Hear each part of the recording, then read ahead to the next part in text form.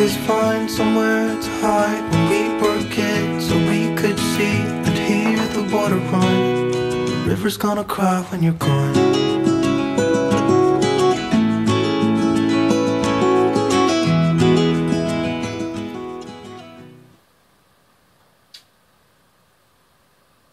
Good morning, lovely people. It is nice to see you again. I'm joined by Oreo today. He stole my chair, so I'm on the floor. oh, he's leaving. I'm cozy down here, so I'll sit down here anyway. Today's episode is going to be warning up front knitting free, spinning free. Um, I haven't gotten a lot done that I can show you.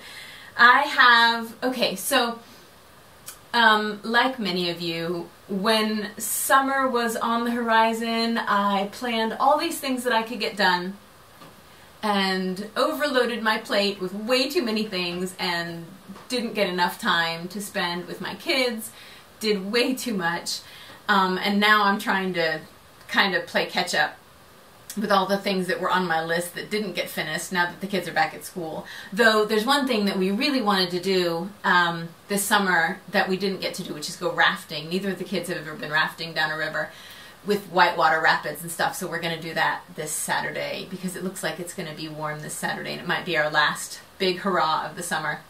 But I've totally felt like a rabbit this summer with a speeding heartbeat, bouncing around from one project to another, trying to get everything done. Um, so these past three weeks I've spent working on a lot of class prep stuff for all the classes I'm teaching this fall and finishing up the big beautiful shawl that's going to be going to Making Stories magazine for next fall, their fall issue in 2020. So that is done. I may be able to pick up knitting in a little while, though I might need a good spinning break or something. Anyway, I don't have anything to show you. But I do have lots of things to tell you about from the last few weeks. Random weirdnesses and garden and turtle updates and stuff like that. So hopefully you guys will enjoy a bit of that. Grab yourself some tea, light yourself a candle, have a little downtime. Because if you've been running around like a rabbit like I ha have, you probably need a moment to breathe. there we go. Okay. Now, what do I want to tell you about? Um, okay, well the first thing in front of me are these. For those of you who have never seen a hazelnut other than in your Nutella, we have two hazelnut trees on our property. So let me show you what they look like when they come off the tree. So this is what hangs off of the tree. It's little husk and the nut inside. And then this will come out and there's your hazelnut. So the skin is taken off of it. You can eat it raw or you can roast them, and that's how they're usually in Nutella. They're roasted and then added with chocolate and sugar. They might be just one little husk, or it might be something more like this where you have three or four attached and they have been falling all over the ground recently, so we've been picking them all up and have a countertop full of Nutella potential. so that's a lot of fun. We have a few other nut trees on the property. We have the wild growing um, black walnuts, which I use a lot with natural dyeing, but I don't like the flavor of the black walnuts as much. They're a lot more bitter. They're not as sweet as English walnuts, so I don't eat them much. But I have a few English walnuts growing that are still very small. It takes years for most nut trees to get to a good productive stage, but then you have, you know, nuts for years to come, which is really nice. It's a good crop to have on your property. So I know that a lot of the nuts that I have planted, I might not see in a good harvest um, for years, but they might be great for kids and grandkids even. So in between the two hazelnuts is where our turtles are. For those of you who are new, we found a mama turtle laying eight, a box turtle laying eight eggs in the middle of our gravel driveway where people drive all the time. So we knew it wasn't a safe place for them, so we moved them right after she laid them to a nice, dirty, soft spot in our uh, garden between the two hazelnuts, and we've we've been watching them. It is currently day 72. They usually hatch somewhere between 60 and 75 days if they hatch, and I'm hopeful that they'll hatch. We had a dry spell for about three weeks up until last week, and then we started getting some rain, so I'm hoping that the rain will kind of soften up the ground and that they will start digging their way out soon. And when they do, I promise I will film it all for you because that's going to be really cool. So we'll gather them up and then probably move them farther into the forest where there'll be lots of ground cover and grubs and things they can munch on and hide under. And if you didn't know, um, turtles' sex is determined by the temperature of the ground at the time when they are incubating. So the lower the temperature, the more likely they are to be males. The higher temperature, the more likely they are to be females, which is actually something I had listened to on a podcast I was going to tell you guys about. I was listening to about turtles and they are noticing that there are now more female turtles being born because temperatures are rising and the nest temperatures are rising and producing more females, which at this point isn't too big of a deal because one male turtle can still fertilize many female turtle eggs. But um, it could be a problem in the future if the temperatures continue to rise unless there's some kind of mutation in the eggs and we see that the males start to hatch at a higher temperature. I don't know, but that's um, just an interesting side fact about turtle hatchings. Okay, so let me tell you about that podcast that I've been listening to. I think because I my podcast consists of many random ramblings and a lot of you like that when I'm talking about different facts here and there and things that I learned. So those of you that do like that are going to love this podcast. It is called Ologies. Um, as in genealogy, um, nephrology, the ologies. And basically, she talks to people who are experts in certain ologies. Her name's Alie Ward, and she's been doing, well, now she has, a little, I think, 101 episodes. And it's so much fun to listen to. It's one of those things that just takes you down a rabbit hole of some thing that you didn't know anything about, or maybe you did, and you get to learn more, and um, quenches that thirst for more knowledge about things. So I've learned about turtles and tortoises. I've learned about nomology, which is the study of the Constitution. It's not necessarily a science, but often it is. I've learned about the study of hair. I've learned about um, the study of um, graphology, handwriting, and forgery. Disinfectology, which was a bleach expert. Um, astrobiology. We talked to someone who uh, about aliens and his study of the planet, someone who studied the moon. Really, really cool. I'm, I've been binging it for the last couple of weeks while I've been working on the shawl, so I would highly recommend it if you're interested in that kind of thing. I think you will enjoy it. There is some cussing.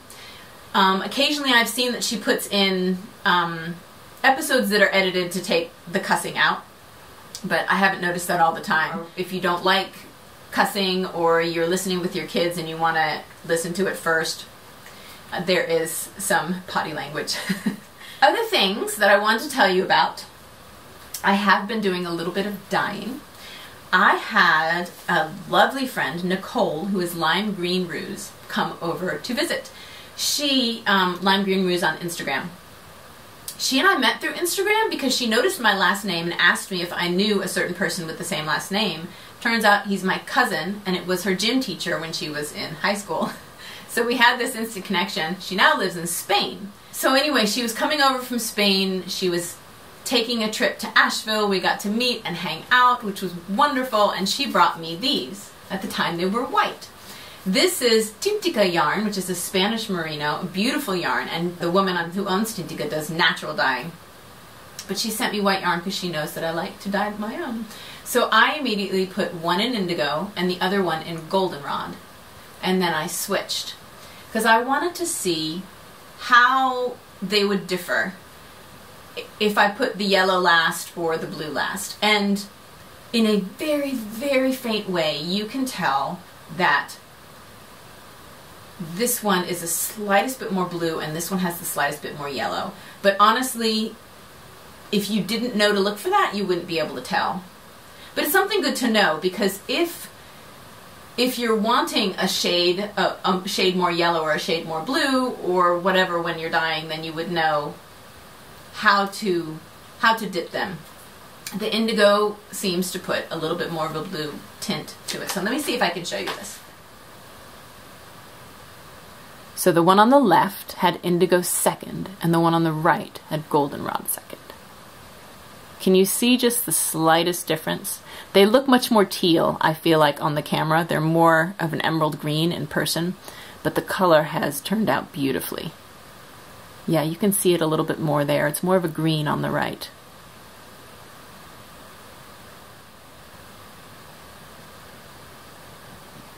So that was a fun experiment. Uh, one of my viewers passed along a video that I'm going to put in the show notes. That was a really cool, quick video about indigo and the traditional indigo dyers. And I think it said there were only five, five dyers doing it the same way he does it now. But it's a really good video. It's it's quick to watch, but really interesting if you'd like to see the process of this production indigo dyer. Just a couple other things to chat about. I want to remind you that all of my patterns are 20% off on Ravelry right now and will be through August. And all of the proceeds from those sales are going to be going to the American Civil Liberties Union and the American Foundation for Suicide Prevention. So pass the word along. The more um, patterns that are sold, the more money I can donate to them. So I really appreciate anything you guys can do to spread the word and any patterns that you purchase. Thank you. Another thing that I wanted to mention is that I am hosting an herb slash tea swap for the holidays. It can be for Advent, it can be leading up to Kwanzaa, to Hanukkah, whatever you want. All of the uh, major winter holidays are falling around the same days. So I thought it would be a lot of fun to do a swap. So I'm making small groups of four or seven. We'll see how many people we get. Okay, for example, if there's a group of seven people, each person in the group will send four teas or herbs to the six other people. So each person will end up with 24 total. So if you start on December 1st, you can open one package a day leading up to Christmas. Uh, if you want to lead up to solstice or Kwanzaa or Hanukkah, whatever you want to do, you can start it on those days. It's international. You don't have to ship international. You just have to let me know where you want to ship. But all the details are in the Ravelry group under Herb Tea Swap, and it's going to be a lot of fun. You could probably put everything you swap in an envelope, so it won't be expensive to send it each little daily package is only two teaspoons of whatever herb uh, you send. Unless you're sending a, a prepackaged tea, then you just put one in there and you wrap it up, and you don't know what you're going to get. So every morning you can open up your your herbal tea or packaged herbs, whatever it is that that has been sent to you, and you get to try a little something new each day, and you get to share it with six other people. So join if you can. It's going to be a lot of fun. I hope to have a bunch of groups going. That's in the Ravelry group. And I think it would be a really sweet way to encourage us to sit down and have a moment each day where we enjoy the tea or we maybe maybe you get two teaspoons of thyme one day you could use that in your cooking that evening or for lunch or something like that. It just kind of reminds us to slow down a little bit. So yeah spread the word. I hope that's going to be a lot of fun. It does not have to be homegrown herbs. It can be prepackaged herbs or teas whatever you are able to share. I think there's only two other things that i wanted to talk about the first is that the Livestock Conservancy is using my pattern, my fleece flight pattern, to encourage people to experience different rare breed yarns and then share it at Rhinebeck. So instead of a Rhinebeck sweater, they're doing the fleece, fit, Rhine, fleece flight Rhinebeck shawl, which is so cool. And anyone who knits it and goes to Rhinebeck, um, we're all going to meet for a group photo at the Livestock Conservancy booth so that we can share the yarns and fleeces that we've put into our shawls. So I will have a link to that also in my show notes and any of you who are already participating in the Fleece Flight Knit Along, which goes through November 15th, if you're going to be at Rhinebeck, you are welcome to come by. That would be a lot of fun to see what you've made. So one thing I got a few months ago, and I have not shared with you yet, but I really love, I put it to the side to share later and had forgotten about it. I signed up for a mystery package from Wild in the Woods, whose yarn you know I love.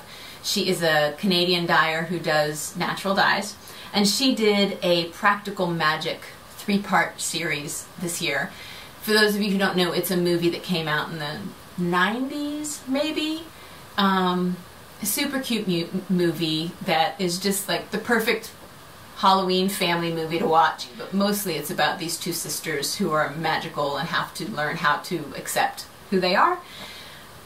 But she has been making these little um, packages. Serena Wild in the Woods has been making these packages based on themes from the movies. So the second one she sent me has this lovely crown. It has says midnight margaritas. It's a mug with the quote Eye of newt, toe of frog, wing of bat, tongue of dog, adder's fork, and blind worm's sting. Barbados lime is just the thing. Fradia's salt like a sailor's stubble. Flip the switch and let the cauldron bubble. It was something that they said before they were making margaritas one time when they were having a, a little family get together. It's also got a margarita mix, a little straw, some soap called Put the Lime in the Coconut, and two beautiful skeins of yarn. I'm going to come closer to show you these. So here they are. It's a single ply of her um, Seafolk yarn. 100% rustic Canadian wool botanically dyed slowly and naturally using locally harvested plants and salt water from the Pacific Ocean. I love that. So there's a gray, light gray and dark gray, and then kind of the peachy pink and cream. They're so beautiful. I think I want to use all the yarns that I get from her mystery boxes and put them together in something, but I don't know what yet. So that is the last thing. Those are the things that have been going on or coming into my household over the last few weeks. I hope you guys are doing amazingly well. Um, hopefully I will have some knitting and spinning for you next time I see you. Have a great, fantastic couple of weeks. Enjoy the beginning to your September, and I'll talk to you soon. Bye.